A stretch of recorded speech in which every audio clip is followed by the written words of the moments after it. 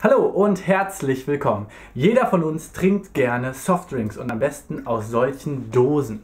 Die sind klein, die sind aus Metall, die sind robust, die kann man überall reinpacken. Nur das Problem bei diesen Dosen ist der Pfand. Da sind 25 Cent drauf auf dieser kleinen leichten Dose und die muss man dann wieder zum Supermarkt hinschleppen, um seine 25 Cent zurückzubekommen. Und das nervt uns natürlich alle und deshalb haben wir einen riesengroßen Pfandberg bei uns zu Hause und lassen ihn da einfach verrotten, bis endlich jemand mal auf die Idee kommt, den wegzubringen. Und dann freut man sich, dass man wieder 15 Euro in Pfand hat. Oder man behält diese Dose, so wie ich das mache, und baut etwas Wunderschönes und sehr Sinnloses aus so einer Dose. Als allererstes muss man erstmal diese ganzen Dosen, also ich habe hier so ein paar Paloma-Dosen, muss man die einfach erstmal leer trinken.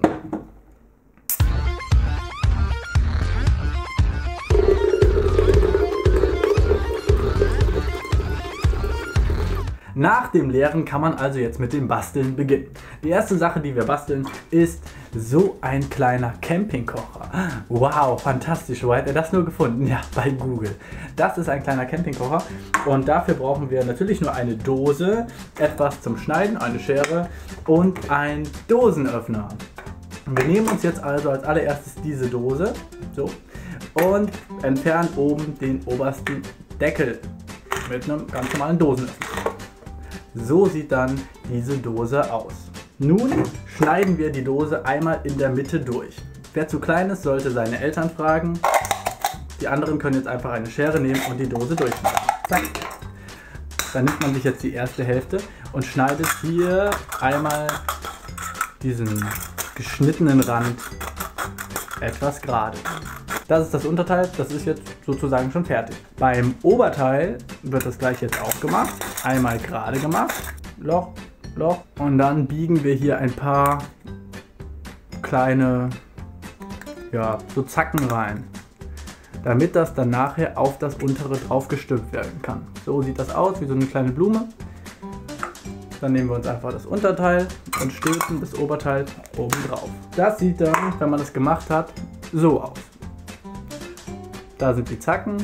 Es passt genau in das untere Ding rein.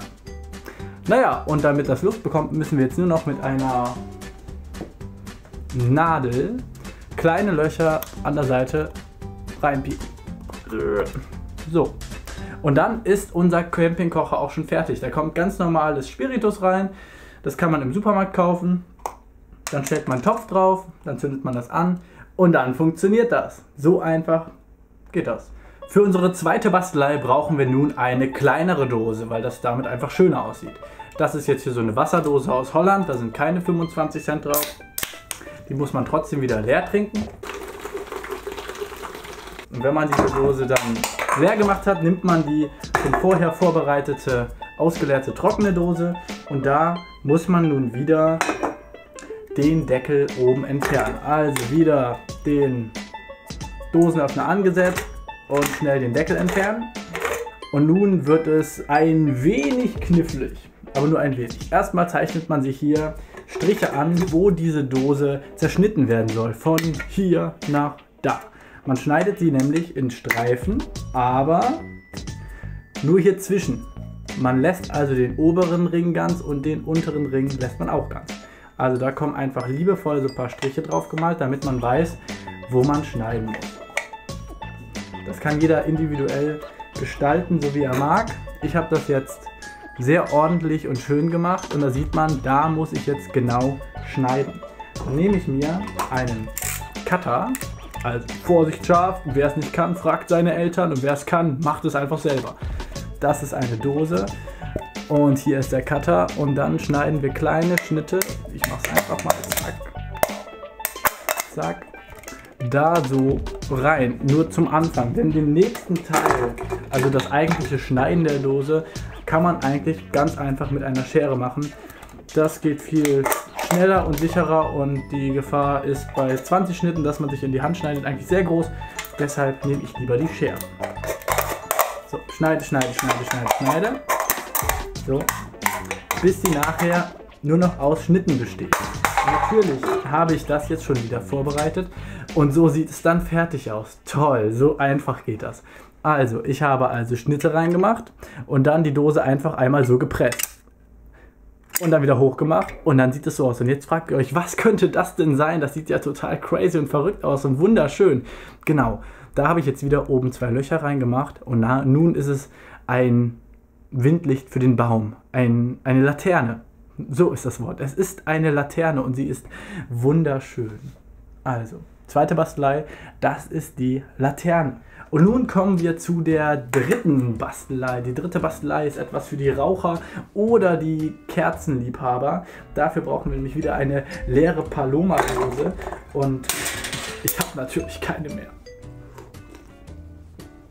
Mmh. Die muss ich jetzt wieder austrinken. So, nun haben wir wieder eine leere Paloma-Dose, wo ich natürlich wieder die vorher schon ausgewaschene leere Paloma-Dose nehme. Äh, und die schneide ich jetzt erstmal kaputt. Und zwar schneide ich hier oben diesen Deckel ab. Bisschen brachial, bisschen ungeordnet, so wie immer. Also, nun habe ich von dieser Paloma-Dose, Paloma, oben diesen ersten Teil abgeschnitten. Nun nehme ich mir die Schere und schneide diese Paloma-Dose von hier oben bis da unten in Streifen. Nun habe ich diese Dose in Streifen geschnitten und diese Streifen werden jetzt alle nach außen gebogen, damit das so ein bisschen aussieht wie so ein Weihnachtsstern. Also alle nach außen biegen. So, und Vorsicht, die Kanten sind scharf, man könnte sich schneiden. Muss man aber nicht. Na, so sieht das nun aus. Nun kommt das Komplizierte an diesem Windlicht-Aschenbecher. Diese, man nimmt sich jetzt hier einen und biegt ihn rüber hinter den dritten und macht das dann so fest. Damit das, so soll das aussehen. Man biegt es rüber hinter den dritten und macht das hier so schön fest. So dass diese Kante genau mit dem Kreis auf einer Linie liegt. So soll das aussehen. Und das mache ich jetzt mit dem nächsten noch. Jetzt ist der zweite schon da dran. Also wieder von hier gebogen hinter den dritten. Jetzt ist der dritte gebogen. Und immer darauf achten, dass das auf einer Linie hier mit dem Kreis ist. Dass das also nicht überlappt oder so. Das soll schön, dass dieser Bogen noch zu sehen ist.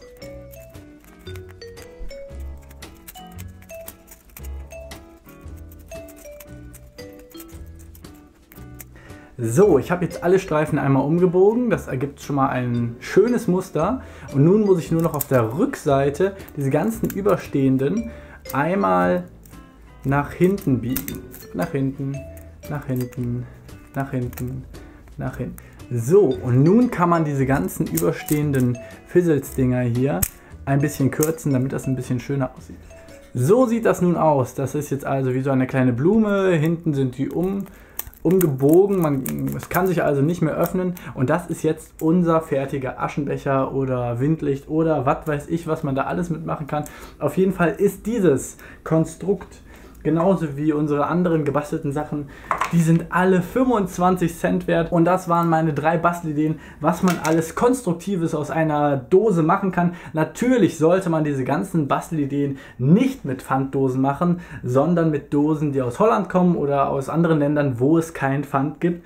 Denn bevor man so eine Dose zerschneidet und etwas Sinnloses draus bastelt, kann man die lieber auf der Straße stehen lassen, damit irgendein Obdachloser oder so sich die einsammeln kann.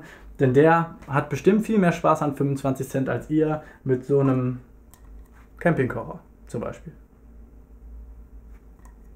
Der ist ganz schön schlecht geworden. Ja, das ist alles Fusch, was ich hier mache. Naja, bis die Tage. Auf Wiedersehen. Euer Micha.